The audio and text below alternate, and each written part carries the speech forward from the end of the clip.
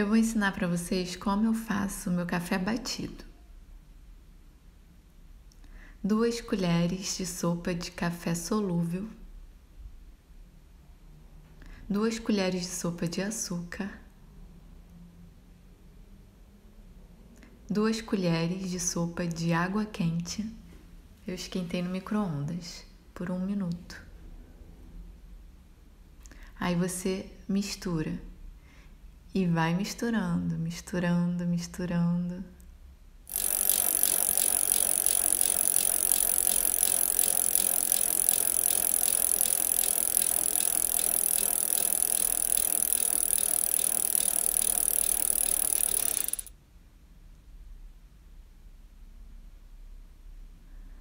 Dez minutos depois, ficou pronta a minha calda de café batido.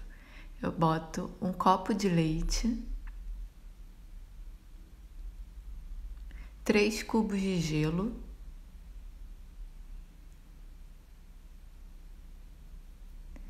e duas colheres de sopa do café batido.